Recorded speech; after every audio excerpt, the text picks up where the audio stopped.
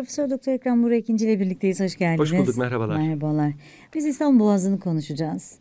Aslında İstanbul'un kuruluşuyla tarihlenen bir e, yapıdan, bir o, o, coğrafi oluşumdan bahsediyoruz ama hayır, hakikaten dünyada İstanbul'a benzersiz bir özellik katıyor. İklim olarak öyle, coğrafi konum olarak öyle. Hani şu anda Türkiye'nin yaşadığı problemlerin büyük bir kısmı aslında baktığınızda bu Boğaz'dan kaynaklanıyor. Evet, yakın neden, tarih. Neden bu kadar önemli Boğaz ve Osmanlı'daki yeri neydi? Biraz geçmişten başlayalım sonra bugüne gelelim. Şimdi Boğaz e, jeolojik bir proses neticesi teşekkür etmiş bir geçiş. Dünyada İstanbul Boğazı gibi 30, 40, 50 tane belki boğaz var fakat bunların hiçbir tanesi boğaz kadar ehemmiyetli değil. Yani boğaza yakın ehemmiyetli olanlar var ama hiçbirisi boğaz kadar ehemmiyetli değil. Çünkü boğaz bir kere iki kıtayı birbirine bağlıyor. Eski medeniyetlerin yaşadığı eski dünyanın tam ortasında. iki dünyayı birbirine bağlıyor. Aynı zamanda denizlerin geçiş noktası. Yani Karadeniz'den Akdeniz'e geçmek için burayı kullanmanız icap ediyor. E, bu sebeple Boğaz'ın ayrı bir ehemmiyeti olmuş her zaman ve Boğazları elinde bulundurmak bir e, siyasi imtiyaz olmuş o zaman. Nitekim e, İmparator Konstantinos da e, baş şehri, yeni baş şehri Roma dünyanın en eski şehirlerinden bir tanesi. Baş şehri İstanbul'a kurmuş. Bu buraya Nea Roma adını vermiş. Bunun tabii büyük bir e, sebebi boğazlara yakın olmadır. Hatta daha önce Çanakkale Boğazı'nda kurmayı düşünmüş. Fakat daha sonra bazıları bir kehanet, bazıları bir takım e, stratejik sebeplerle şehri buraya aldığını söylüyor. Burası eski bir Yunan site devletiydi Bizans adında. Vardı zaten Vardı. burada değil mi? Yani tarihine baktığınızda Çok şimdi eski. bu e, yapılan yeni kazılarla İstanbul'un bir liman şehri olduğu ve bilinen tarihinden on binlerce yıl Evet. daha geriye gittiğini gösteriyor. Şimdi mesela kuruluşu 4. asır, 300'lü yıllar ama e, hatta bazıları da İstanbul'un 1700. yılı diyor ama değil. Ondan önce burada bir Yunan şehri var. Surlar içinde. Kadıköy'de Kalkedonya orada da yine insanlar yaşıyor. Meşhur Üsküdar'da hikayedir. Skutaryon, evet, Körler ülkesi. Körler ülkesi. Skotaryon orada bir yerleşim var. Kartal'da var. Boğaz köylerinde insanlar yaşıyor burada az da olsa. Ama tabii buranın imparatorluk şehri olmasıyla bura ayrı bir ehemmiyet kazanmıştır. İstanbul'un fethiyle Boğazlar zaten Çanakkale daha önce İstanbul'un fethiyle Boğazlar tamamen Osmanlı hakimiyetine girdi. Ve zamanla Karadeniz bir iç denize dönüştü. Hatta belki şunu o fetihle ilgili boğazların ne kadar stratejik olduğunu ve fetihten önce aslında boğazların fethedildiğini Tabii Boğazların lazım. biliyorsunuz e, Yıldırım Sultan Bayezid üç kere bu- İstanbul'u kuşattı ve İstanbul'un fethi için bir hisar yaptırdı. Anadolu Hisarı. Boğaz'a giriş ve çıkışları kontrol altında tutarak İstanbul'u fethedebileceğini gayet iyi biliyordu. Bunu yapmadan İstanbul'u fethetmeniz mümkün değil. Boğaz'ın karşı sahillerinde de Türk hakimiyeti yavaş yavaş başlamıştı. Nitekim yani Rumeli tamamen Türklerin elindeydi. Bizans toprakları dediğimiz bugünkü Suriçi e, biraz daha e, Boğaz'a doğru köyler Silivri'ye kadar olan mıntıkaydı. E, yani onların elinde olan o kadardı. E, Fatih Sultan Mehmet Boğaz Kesen Hisarı'nı yaparak adı üstünde Boğaz Kesen. Şimdi biz Rumeli Hisarı diyoruz. Karşıdaki Güzelce Hisarı'dır. Ona da Anadolu Hisarı diyoruz. Tam onun karşısına. Boğaz'ın en dar yerine. Böylece Boğaz'a giriş ve çıkışları kontrol altında tutmak istedi. Yani Rumeli'den Boğazlara bir ikmal, Tuna üzerinden ikmal olmasın veya aşağıdan bir ikmal olmasın, Akdeniz'den bir ikmal olmasın diye. Bu da Boğazların ne kadar ehemmiyetli stratejik bir, bir e, hususiyete sahip olduğunu gösteriyor. E, Karadeniz sahillerinin tamamen Osmanlı hakimiyetine girişi biliyorsunuz Bulgaristan Sultan 1. Murat Hüdavendigar zamanında fethedilmişti.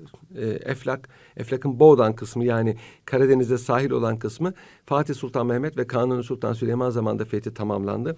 Ukrayna sahilleri tamamen fethedildi. Kırım Fatih Sultan Mehmet zamanında fethedildi demiyorum. Çünkü Kırım bir hanlıktı. Osmanlı hakimiyetine girdi kendi isteğiyle yani Ruslara karşı emniyet olmak üzere. Ee, bugünkü Gürcistan ve Rusya'nın Doğu Karadeniz'deki sahilleri ise o zaman haiz emniyet. Çünkü Rusya burada değildi. Binaenaleyh Karadeniz e, Trabzon'da fethiyle tamamen bir Türk gölü halindeydi. Binaenaleyh buraya girişler çıkışlar tamamen Türkiye'nin kontrolündeydi. Zaten Rusya'nın, Ukrayna'nın öyle bir devletler yok. Buraya girmek çıkmak gibi bir şey mevzu bahis olamaz. Burada sahili olmayan devletlerin de Karadeniz'e girmesi gayet tabii ki Osmanlıların inisiyatifindedir ve sokulmamıştır. Ancak 16. ve 17. asırda dost memleketlerle yapılan bazı imtiyaz anlaşmaları. Şimdi bunlara kapitülasyonlar deniyor. Önce Fransa ile arkasından İngiltere ile sonra Hollanda ile ki bunlar biliyorsunuz üç tü- tüccar devlettir o zaman. En çok Hollanda sonra İngiltere sonra Fransa. Bunlara boğazlardan ticaret gemilerinin serbest geçme hakkını tanımıştır Osmanlı Devleti. Bu tabii bunlara bir imtiyaz olmakla beraber aynı zamanda Osmanlılara da bir e, canlılık getiriyor. Ticaretin Aslında buradaki amacı biraz söyleyelim. Yani şu anda konuştuğumuz konunun özünü bu teşkil ediyor. bu bir zaaf değil. Evet, bunu kapitülasyonları yıllarca okullarda bize e, Osmanlı'nın acziyeti ve e, karşı tarafa verdiği imtiyazlar olarak görüldü. gördük. Tamam son yıllar için belki böyle olabilir. Nitekim güçsüzseniz her çeşit anlaşma sizin aleyhinize olabilir. Güçlüyseniz aleyhinize olan anlaşmaları bile siz lehinize kullanabilirsiniz. Osmanlı Devleti'nin imtiyaz vermesinin sebebi giderek coğrafi keşiflerle Anadolu'nun Osmanlı topraklarının eski emniyetini kaybetmesidir. Şimdi biz İpek yolu İpek yolu diyoruz ama artık boğa e, keşiflerle buranın hiçbir ehemmiyeti kalmadı. Böyle olunca Anadolu fakir Tam düşmeye başladı. zor bir yola döndü Zor bir yola değil mi? dönüştü. Deniz yoluyla Evet. karşılaştırıldığında. Diğeri belki Tabii, daha uzun da- ama bu daha, daha, uzun zor. ama daha kolay, bu daha zor. Daha emniyetsiz. Bu o, kaybı telafi etmek için başta Fatih Sultan Mehmet olmak üzere ecnebilere bir takım imtiyazlar tanıdılar ki bu İpek yolunun ehemmiyetini kaybetmesini getirdiği zorluklar, e, zararlar telafi edilebilsin. Bu bir. İkincisi memleketinizde gayrimüslimlerin girip çıkmasını istiyorsanız ki istiyoruz. Gelsinler gitsinler ticaret yapsınlar. Dostane münasebetlerimiz devam etsin. E, o zaman bunları bir statü tanımanız lazım. Ne bunlar? Bu statü işte bu kapitülasyon dediğimiz anlaşmalarla tanınmıştır. Yani kapitülasyonlar alın alın alın anlaşması değildir. Onların tanınmış bir statüdür. İşte boğazlardan geçişte de statü tanıdılar ki boğaz limanlarında ticaret yaparak buradaki ticaretin Osmanlı ticaretine de katkısı var. Osmanlı mallarını alacaklar, satacaklar, gümrük ödeyecekler, liman bedeli ödeyecekler. Bunlar Osmanlı'ya bir Gelir. hayatiyet getiriyor. Kapatmanızın hiçbir manası yok boğazları. 19. asra kadar böyle devam etti. Örnekleri var mı? Yani aynı dönemde dünyada ticaret nasıl yapılıyor? Kapitülasyon veren ya da imtiyaz veren diğer ülkeler Aa, var mı? Elbette, elbette. Şimdi gerek Avrupa devletlerinin birbirleriyle yapmış oldukları anlaşmalar, gerek İslam devletlerinin ve gerekse Asya devletlerinin, Çin gibi, Japonya gibi devletlerin, Tayland Sultanlığı gibi devletlerin, Hindistan sultanlıklarının kapitülasyon anlaşmaları var. Yani hepsi birbirleriyle böyle anlaşma yapıyor. Kapitülasyon demek zaten madde madde olduğu için kapitülasyon. Kapitüle madde demek. Hepsinin böyle anlaşmaları var. Kendi ülkesindeki ticaret nizamını bir, tertip etmek, tanzim etmek, iki kontrol etmek, üç milletler münasebetleri e, yum- yumuşatmak, savaş halini mümkün mertebe azaltmak için her devlet birbiriyle böyle anlaşmalar yapıyor. Tek taraflı veya çift taraflı bazı imtiyazlar tanıyor. Bu bütün dünyada var. Yalnız şöyle oluyor tabii. Siz eğer daha çok beklentiye sahipseniz daha çok taviz vermeniz lazımdır. Bu sanki sizin aleyhinize gibi gözüküyor ama beklentiniz fazla olduğu için. Türkiye'de böyledir. Çünkü mesela Osmanlı tacirleri de Avrupa'ya gidiyorlar ama çok fazla değil. Onlar bize daha çok geliyor. Şimdi aslında buna nasıl bakmak lazım? Şu anda da e, ülkemize yatırım için gelen büyük çok uluslu şirketlere ya da devletlere verdiğimiz bir takım haklar var. Evet. Vergi indirimleri, Teşvikler. muafiyetler, teşvikler var. Biraz bu açıdan bakmak Evet, lazım. aynen bu sebeple bu bu bu bu, bu şimdiki teşvikler o zamanki kapitülasyonların Karşılığı. e, modernize edilmiş halidir, mukabilidir, karşılığıdır. Kapitülasyonlarda e, ecnebilerin statüsüne e, dair bazı hükümlerin e, anlaşmalar bir Osmanlıca yapılıyor, bir Fransızca yapılıyor. Fransız o zaman lingua franca. Bir de mahalli devletin diliyle yapılıyor. İtalyası İtalyanca mesela. Bu anlaşma metinlerinde gerek katiplerin e, gafleti, gerek Hin diplomatların entrikaları, gerekse Türkçe ile diğer dillerin birbirini çok e, birebir karşılamaması sebebiyle doğan ihtilaflardan çıkmıştır. Metinde öyle yazmıyor ama mesela o metinde öyle anlaşılıyor. Mesela bunlar yıllarca ihtilaf olmuştur. Bu kelime bu manaya bu manaya gelir. Mesela böyle bir şey var mı? Hatırıma gelmiyor ama mesela mesela e, tercüman tercüman e, mahkemede bulunur. Mahkemeye katılır. Bizde öyle yazıyor. E, Fransızca metinde karara katılır diyor. Hmm. Şimdi o zaman bunlar diyor ki bunun da oy hakkı var diyor. Karara katılacağına Karar, göre. Biz de diyoruz ki hayır yani karar verilene kadar orada durur. Mahkemede bulunur. Çünkü adamın Dili söyleyeceği yok. söz var, dili yok. Biz böyle anlıyoruz. Zaten mantık da bunu, bunu icap ettirir. Yoksa tercüman hiç oy hakkı olabilir mi mahkemede? Yani tercüman dışarıdan gelen bir adam mahkemede Bir bunun de ne bizim alakası? bizim mahkemelerimiz oy kullanılan jüri Değil. vesaire olan bir mahkeme O zaman değil. çoklu mahkeme. Bunlar ticaret mahkemeleri. Üç kişi var ama neticede onlar kendi aralarında karar veriyorlar. Bu yani bu o, bugünkü bir o gibi değil. Mesela bu bir ihtilaf doğurmuş. Yıllarca bu ihtilaf gündeme gelmiş. Osmanlılar hayır demişler. Tercümanın hakkı yok. Avrupalılar hayır var. Mesela ihtilaflar buradan çıkmıştır. Tamam bu da bir hata ama neticede sebepler bunlardan. Yani Böyle basit aslında. Basit sebepler Hani büyütüyor. Bizim içerik değil de şekil diyebileceğimiz şeyler daha E, çok. Güçsüzseniz ister istemez bu e, şeylere, baskılara boyun eğmek mecburiyetinde kalıyorsunuz veya boyun eğer görülüyorsunuz veya taviz veriyorsunuz veya taviz verir gibi yapıyorsunuz. Güçlüyseniz hadi oradan be ben böyle anlıyorum dersiniz. Bu, bu biraz güçle alakalıdır. Masaya yumruğunuzu vurabilme Evet, gücüyle aynen ilgili. öyle. Yoksa kapitülasyon neden verildi? Vah vah vah şudur. Bunu bu çok saçma bir sözdür. Yani kapitülasyon ver, vermenin e, faydası vardır, zararı yoktur. Ama tatbikatındaki bir takım problemler. E, bugün de öyledir. Bir takım milletler arası anlaşmalar yanlış anla el- anayasa yakın zamanda biz kendi dilimizdeki anayasayı hukukçuların bir kısmı başkanlığı 367 miydi neydi o madde. başkan seçiminde e, baş, bir kısım başkanladı. Do her iki tarafta haklıydı ben size söyleyeyim. Nereden Çünkü baktığımız anayasa metni öyleydi. Öyle de Bazı kelimeler öyledir ama biliyorsunuz. Elastiki. Evet ne tarafa çekerseniz ya da Onun için onun için e, kanun metnini hazırlamak çok mühimdir. E, Sarih olması gerekiyor, net. Kanun metnini hazırlayanların lisanı iyi bilmesi, muğlak kelimeleri e, ortadan kaldırması lazımdır. Evet, kullanmaması veya izah etmesi lazımdır. Şimdi kapitülasyonlar deyince tabii boğazlar bizim için olduğu kadar dünya içinde önemli. Dünya ticaretinin önemli bir miktarı. Şu anda bile mesela işte doğal gazdan bahsediyoruz. Hala yine boğazlar gündemde. Ee, böyle baktığınızda aslında bu kadar hassasiyetle üzerinde durulması, bir tarafın hak istemesi, diğerinin e, bu hakkı istediği ya da anladığı gibi kullanmaya çalışması her iki taraf için ya da taraflar açısından kendi bakış açılarıyla son derece normal görünüyor. Tabii. Şimdi zaten klasik devirde böyle bir ihtilaf yok. Gemiler rahatça gelsin geçsin. Zaten her taraf Osmanlı limanları.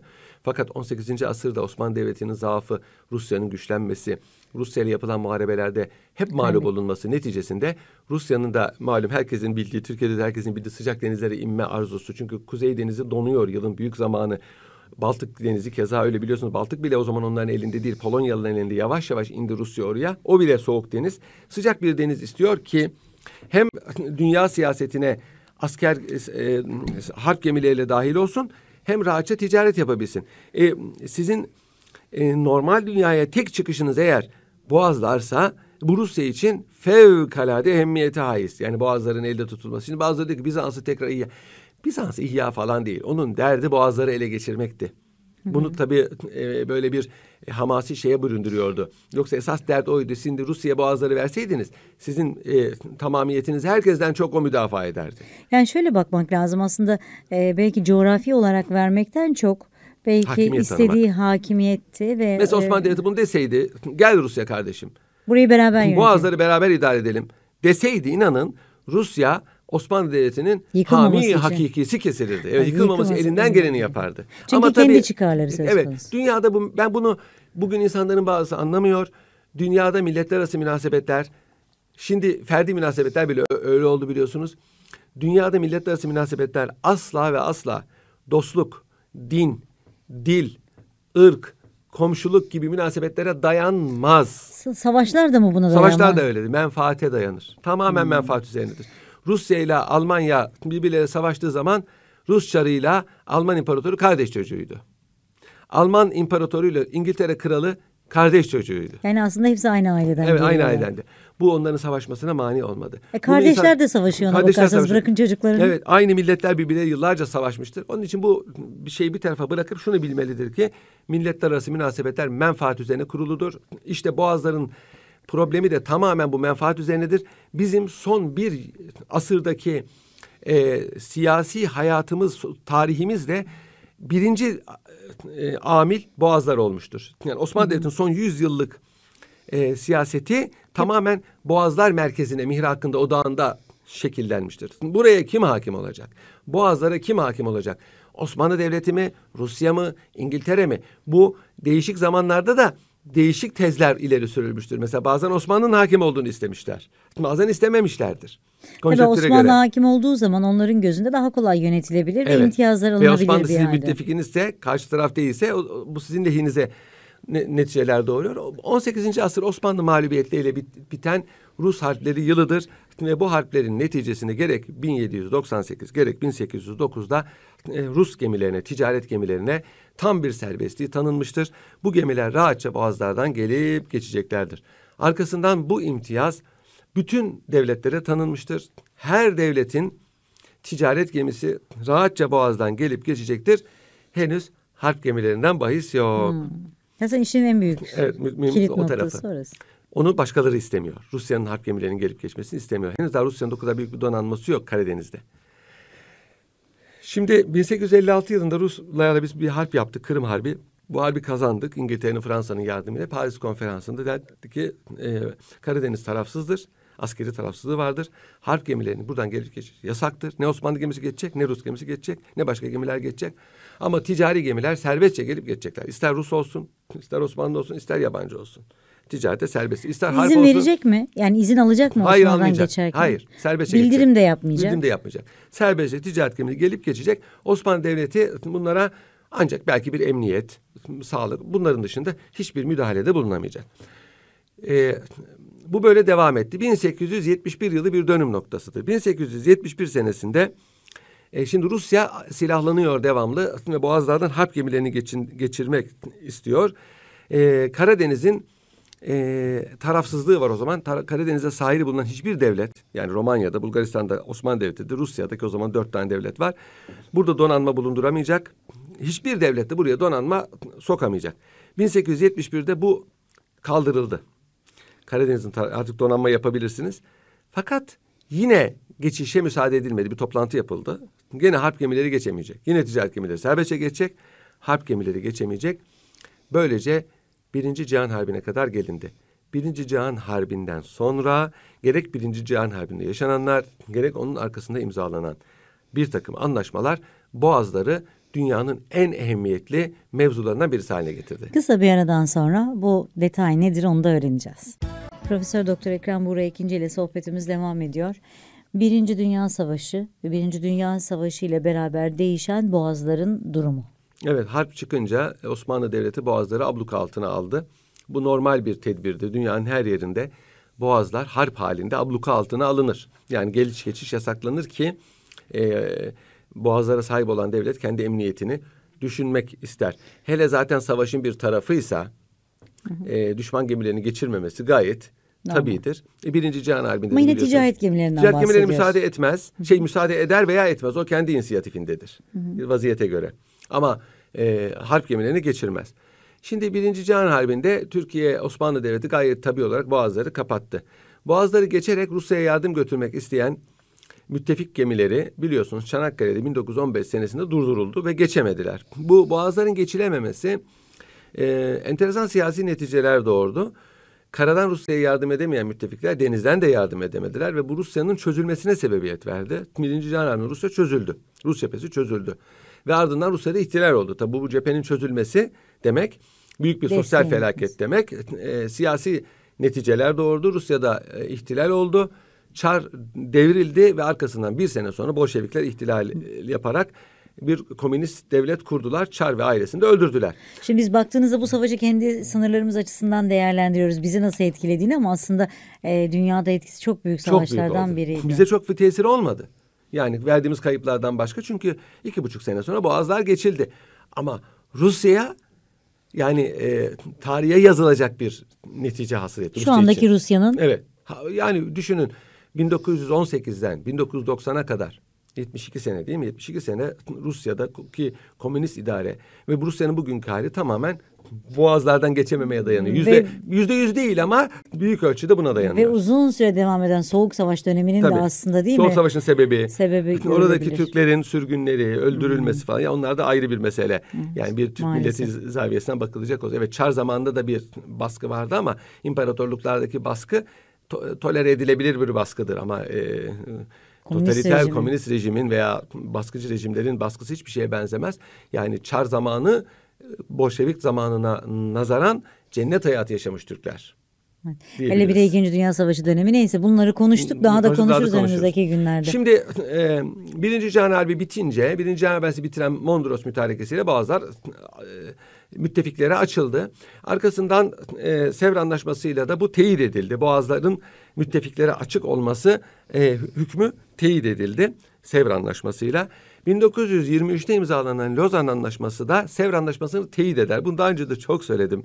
Bu Lozan'la Sevr'i sanki iki zıt kutupmuş gibi e, gündeme getirmeleri çok Boğazlar açısından Tabii söylüyorsunuz. açıdan da başka bazı maddeler açısından da bazı maddeler değil ama pek çok madde birbiriyle birebir aynıdır. Boğazlar birebir aynıdır. Peki. Yani Sevir'de neyse Lozan'da da o. Nedir o hüküm? Boğazlar Türklerin elinde değildir. Lozan Anlaşması'yla. Peki tamam bunu bunu kabul ediyoruz ama bunun dışında görünen maddeleri dışında Lozan'ın gizli maddeleri olduğundan bahsedenler Yok, var. şimdi Ve anlaşmanın anlaş- gizli maddesi olabilir mi? Şimdi Hülya Hanım hiçbir anlaşmanın gizli maddesi olmaz. Yalnız gizli anlaşmalar olabilir. Yani iki devlet arasında kendisi gizli olabilir. gizli anlaşma olur. Bu duyurulmaz bir müddet duyurulmaz. Ama mesela Sykes-Picot gibi bir anlaşma Fransa ile İngiltere, Rusya arasında yapılan anlaşma gizli bir anlaşmaydı. Çünkü savaş devam ediyordu. Bir takım e, Stratejik. İkinci derecede anlaşmalar vardı işte Araplarla ve başkalarıyla. Bunun duyulmaması lazımdı ki bu anlaşmalar yapılabilsin. Bunun için bir müddet gizli kaldı. Sonra Rusya bunları ifşa etti. Yani bu gizli madde olmaz. Lozan normal bir anlaşmadır. Anlaşmanın maddeleri vardır. Gizli hiçbir maddesi yok. Yalnız Lozan Anlaşması imzalanırken e, bir takım sözlü taahhütler e, yapılmıştır. Bu sözlü taahhütlerin anlaşmadaki Maddesi- geçerliliği yok. Şöyle güçle Yani- alakalı. Mesela Mondros Mütarekesi'nde bir madde var. Ee, müttefikler asayiş için lüzumlu gördükleri zaman Osmanlı limanlarını ve şehirlerini işgal etme hakkını saklı tutuyorlar. Rauf Bey dedi ki bu tehlikeli bir madde. Amiral Kaltorp dedi ki hiç siz müsterih olunuz efendim dedi ben bu anlaşma bu maddenin kefiliyim. Bu madde tatbik edilmeyecek. Ancak yani bu e, hak, siz de mazur görün ki bizi yani bir takım iddiaçılar zamanında haksızlıklar oldu. İnsanları teskin etmek için bu maddeyi koyuyoruz dedi. Rauf Bey de kabul etti. Ondan sonra bunu tatbik etmedi. Hatta Amiral Kaltorp bile dedi ki bu benim şerefimi yerle bir ettiniz dedi. uygulaması. Evet. Çünkü yani Kurtuluş Savaşı'nın başlangıcı Bundan aslında oldu. bu 7. Bundan madde oldu. sebebiyle olmuş. Yani mesela bu. bu. E, Lozan'da da siz bir söz veriyorsunuz. Yani tutmazsanız tutmazsınız. Tabii. Ama güçle alakalı bir şey. Tutmayabilirdiniz ama o zaman da Lozan Anlaşması yürürlüğe girmezdi. Bu üç, e, sözün ne olduğunu biz o zamanki hatıralardan ve gazete neşriyatından biliyoruz. Ve Nedir konjonktürden biliyoruz. Birincisi Musul'a girilmemesi. Nitekim nitekim e, şeyde e, Lozan Anlaşması'nda Musul hiç e, maddeye girmemiştir. Lozan metnine halbuki bir problem olduğu halde girmemiştir.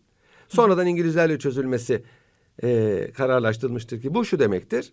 Yani bunu burada şimdi sizin aleyhinize çözersek Lozan Anlaşması'nın e, karşı negatif reaksiyon çok olur. Ama sizin aleyhinize Sizin aleyhinize çözülecek bu. Zaten. Çözülecek Ama ama, çok da üzmeyelim sizi. Erteliyoruz bunu. Rencide etmeyelim. Evet aynen bu. Nitekim o sırada e, meclis müzakerelerinde Gazi bir konuşma yaparak Lozan'a, Musul'a girecek askerimiz yoktur dedi. Halbuki politikada blöf diye bir şey vardır. Gerekirse Musul'u işgal ederiz demesi beklenirdi. Halbuki böyle demesi şu anlaşıldı ki İngiltere'ye zaten bir anlaşma yapılmış. Yani razı olunmuş Musul'a. Bu bir. İkincisi Bolşevik olmayacaksınız. Asla. Yani Rusya'ya müttefik. Zaten artık Rusya'nın e, desteği çekilmiş. Türkiye zaten İngiltere, Fransa ve İtalya'ya yaklaşmış. Zaten Rusya'ya Bolşevik olacak hali yok. Hemen bu söz üzerine Türkiye'deki Türkiye Komünist Partisi kapatılmış. Komünist Partisi azaları birer ikişer ortadan kaldırılmıştır. Bu sözde dinlenmiş. Üçüncüsü hilafeti kaldıracaksınız. kaldıracaksınız. Saltanat kaldırmış hilafet duruyordu biliyorsunuz. Bu hadiseden sonra Lozan Anlaşması'ndan sonra mesela Ankara'nın halifeye ve hilafete karşı çok menfi modern tabirinin söyle- söylemleri vardır, ifadeleri vardır. Halbuki o zamana kadar müdafaa Onun da zeminini hazırlıyorlar tabii, değil mi? Mesela Lozan'dan önce İsmet Paşa'nın ve Gazi'nin halifenin emniyetini vurgulayan sözleriyle Lozan'ın hemen arkasından gerek İnönü'nün gerek Gazi'nin halifelik hakkındaki sözleri taban tabana zıttır. Bir ayda ne değişmiştir? Ve kısa bir zaman sonra da biliyorsunuz konjonktür hazırlanarak İngiltere'nin de yardımıyla halifelik kaldırılmıştır. Halifelik kaldırılmadan İngiltere Lozan Anlaşması'nı tasdik etmemiştir. Halifelik kaldırılmıştır. 3 Mart 1924'te Mayıs ayında İng- e, İngiltere biliyorsunuz Milletler Anlaşmalar Evet. parlamentoda tasdik edilmedikçe yürürlüğe girmez. Ne kadar imzalanırsa imzalansın. Evet imza almış olmasının Onun için Sevr Anlaşması yürürlüğe girmiş bir anlaşma değildir. Sevr Anlaşması'nı e, murahhaslar paraf ettiler. Paraf edilen bu metin hükümete gelir. Hükümet bunu kabul ettikten sonra parlamentoya gider. Parlamento kabul ettikten sonra padişaha gider. Padişah imzalayıp da e, takvimi ve kaideyi resmi gazetede neşrettikten sonra ancak yürürlüğe girer. Sevr Anlaşması bunların hiçbirisi yaşanmamıştır. Sadece parafta Sadece kalmış? murahhaslar paraf, et, paraf etmiştir. Bunu bu bilinen bir şeydir. Sevr anlaşmasını imzalamamıştır. İmzalasa ne olur ayrı mesele de imzalamamıştır. Yani onun için yürürlüğe girmemiştir. Bunu iyi bilmek lazım. Yoksa Lozan'ın yok 2023'te sona erecek. Yok gizli maddeleri var. Peki Böyle 100 bir şey. yıllık yani böyle bir tarih var Hayır mı? yok yok. Ve Ebedi anlaşmaların tarihi anlaşmadır. Anlaşmaların tarihi olabilir. Geçici maddesi vardır. Orada şöyle yazar. Bu anlaşma 10 yıl süreyle yürürlüktedir. 20 yıl süreyle yürürlüktedir. Peki sonrasında mesela Lozan'dan sonra şey yeni devletler kuruldu, haritalar defalarca değişti, isimler değişti. Değişti. Buna rağmen hala anlaşmayla ilgili yürürlük, Yürürlüktedir. Şöyle onda da şöyle bir teamül vardır. Ee, anlaşmaya e, mad- e, imza koyan devletler sonradan isim değiştirirse, işgal edilirse veya fark bölünürse bunlar önceki devletin anlaşmasının devam ettiriyor. Ona halef olmuş sayılır. Çünkü devlet değişse ama bile biz onu kabul etmediğimizi söylüyoruz. Yani yeni Ha, kurulan devletin eski şöyle. devletin devamı olmadığını söylüyoruz. şöyle diyelim ki mesela Yugoslavya dağıldı. Şimdi Sırbistan çıktı da ben bu anlaşmayı kabul etmiyorum diyebilir gücü varsa. Bu güç meselesidir. O zaman anlaşma Yani Lozan hala yürürlükte midir? Lozan hala yürürlüktedir. Evet. Lozan'ı kaldırmak mümkün değildir. Lozan Türkiye'nin kuruluş vesikasıdır. Lozan'ı kaldırdığı zaman Türkiye Cumhuriyeti yıkılır. Türkiye Cumhuriyeti'nin esası Türkiye Cumhuriyeti Anayasası değil, Lozan Anlaşması'dır. Çünkü Türkiye yeni kurulmuş bir devlettir. Bu devlet Lozan Anlaşması ile bütün dünya tarafından tanınmıştır. O zamana kadar sadece Rusya tarafından tanınan Türkiye, Ama üzerinden 100 yıl geçmiş bir anlaşmadan bahsediyoruz. Yani Vesfalya Anlaşması 1648 hala Avrupa'da yürürlüktedir. Yani anlaşmanın eski veya yeni olması ama iki sene önce nasıl yürürlükten kalkar?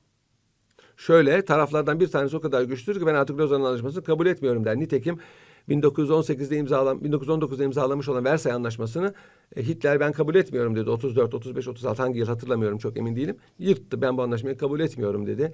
E tabi o zaman Alm- Almanya o kadar güçlüydü ki İngiltere, Fransa protesto etmekle iktifa ettiler. Bir şey yapamadılar. Sonra da zaten E, kabul savaş edildi. çıktı. Ama Hayır sonuçta- kabul edilmedi. Kabul Yani edilmedi protesto ama, ettiğinizde sonuç ama ne oldu? Yapamadılar tabii. E ama gücünüz vardıysa e, savaştılar işte. Savaş oldu. O zaman demek ki savaşlar Evet, değiştiriyor. evet savaş. Yani İkinci Dünya Savaşı'nın çıkış sebebi, görünürdeki çıkış sebebi Almanya'nın e, aşağılayıcı bir anlaşma olarak gördüğü Versay Anlaşması'nı ki Lozan'dan daha aşağılayıcı değildir, kabul etmemesidir. Ben bu anlaşmayı kabul etmiyorum. Bu Alman milletini aşağılayan bir anlaşmadır dedi. Yırtıyorum dedi. Karşı taraf da yapamazsın bunu dediler. Yaparım dedi. Peki şu anda? E, aynıdır. Şu anda da biz Lozan Anlaşması'nı kabul Yok etmiyoruz. yok dediğimiz- hayır. Almanya açısından bakıyorum işte Hitler Versay Anlaşması'nı yırttı attı savaştı. Sonuç yeni Ee, anlaşma. Daha kötü bir anlaşma yaptılar. Daha kötü bir anlaşmayla Almanya'nın dize- dizlerin üzerine çöker, çökerttiler. Evet. Almanya mesela Birinci Cihan Harbi'nde elinde bulunan toprakların çoğunu kaybetti. Yani Birinci Dünya Savaşı sonrası ona verilen toprakların Ki onları beğenmediği için Evet, çıkmıştı evet, savaş. bu az dedi bana. Bana daha çok vereceksiniz. Benim daha çok toprağım var dedi. Haklıydı da Almanlar yaşıyor. Alsas, Lorenz, Saar, Südetya. E, burada Almanlar yaşıyordu. Almanların yaşadığı yer benim dedi. Zaten benimdi. Benimdi dedi. Yani sadece yaşıyor olması da Onların yetmez. hepsini kaybetti. Hepsini kaybetti. Alsas'ı kaybetti. Yani Südetya hepsini Bir de kaybetti. çok enteresan bir şey hani e, benim dediği yerlerde yapılan anlaşmalar Evet. var üzerine bir de.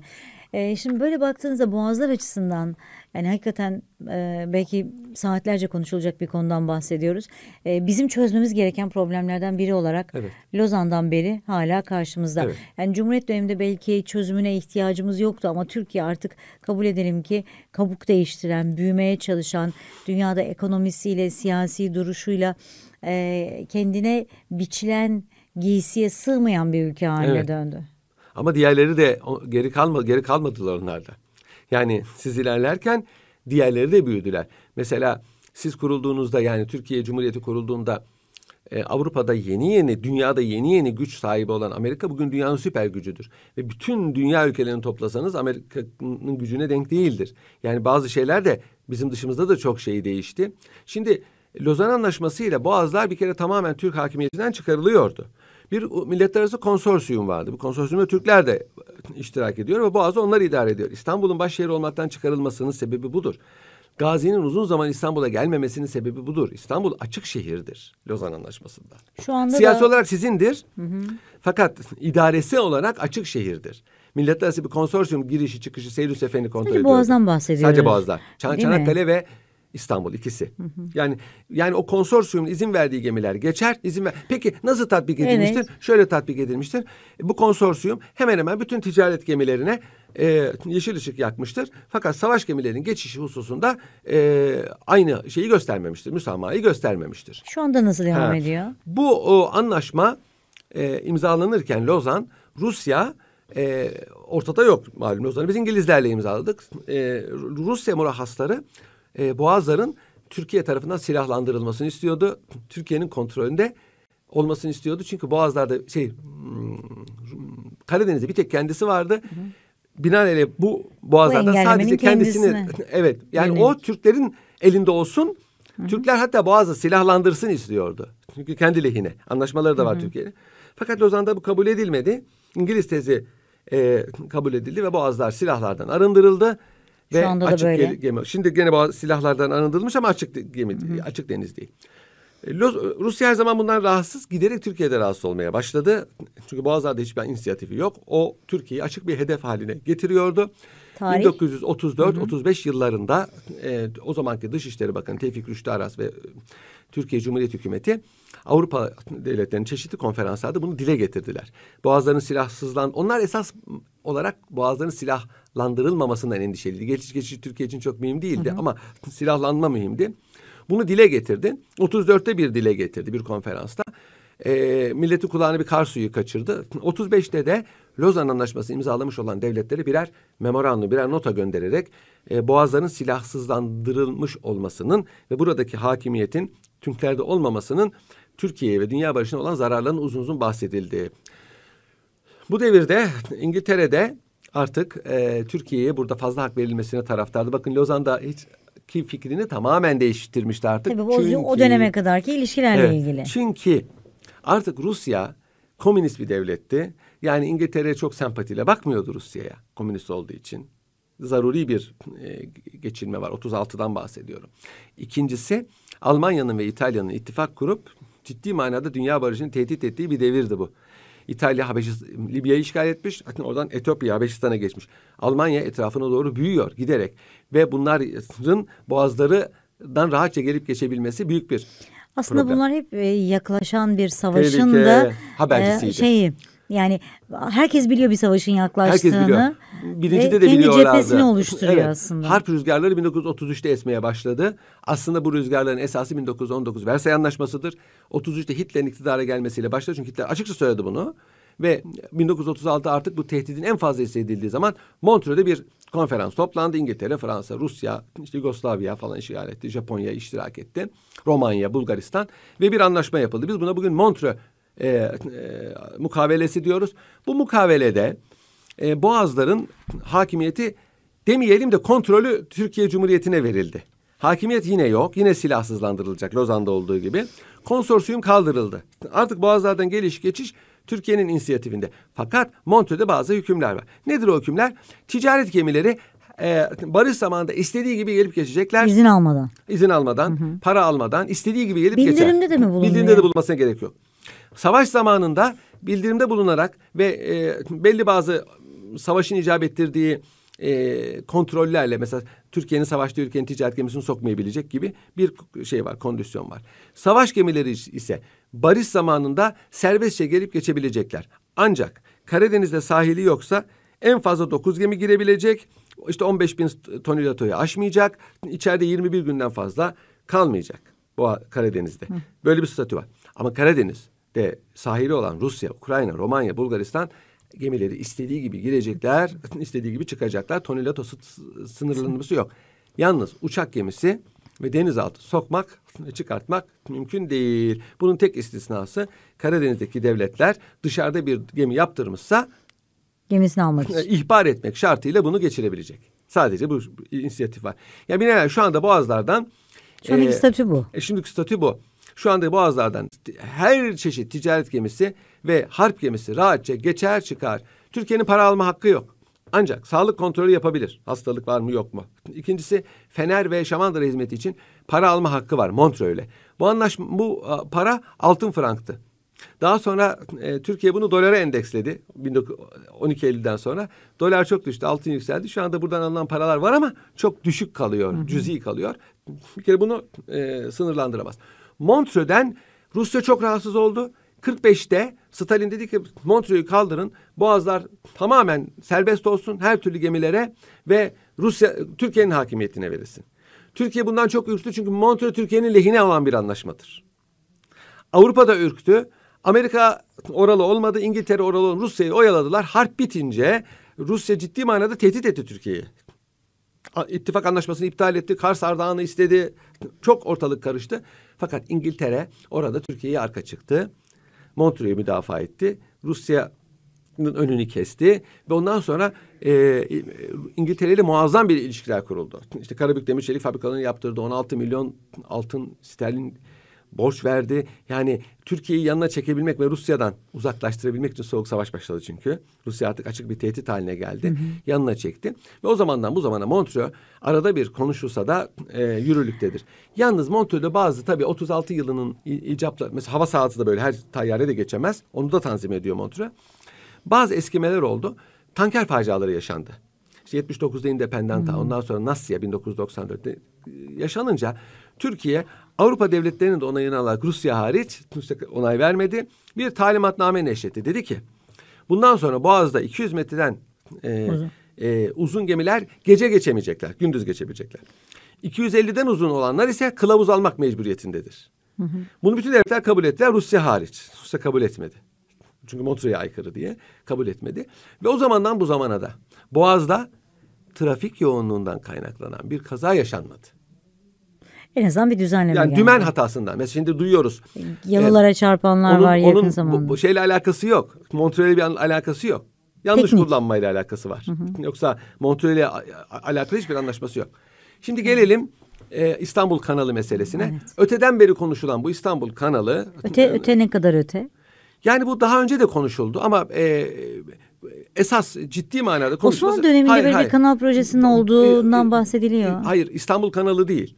İstanbul'daki proje e, Sakarya Nehri'nin e, İzmit Körfezi'ne bağlanarak Anadolu'ya e, rahatça e, sevkiyat yapılması, ince gemilerin ve oradan bu, hakimiyet kurulması veya Karadeniz'e bağlanması ada, ge, göller vasıtasıyla düşünülmüş. Ama hiçbir zaman tatbikata girilmemiş. Sak, şey Sakar, Sakarya Sapanca e, kanalı kazılmaya başlanmış Sultan 3. Mustafa zamanında ama bitirilememiş Rus Harbi sebebiyle. Don Volga kanalı var malum 2. Selim zamanında.